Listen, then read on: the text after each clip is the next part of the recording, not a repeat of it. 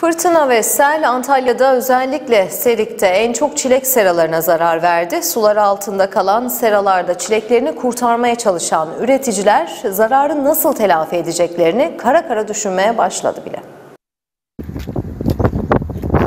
Antalya sel ve fırtınanın etkisi altında kaldı. Bölgede yağışlı havanın etkisiyle birçok tarım arazisi zarar gördü.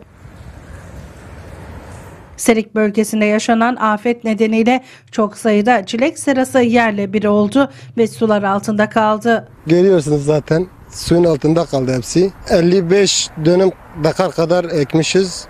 Bir yaklaşık 3 milyon masrafımız gitmiş.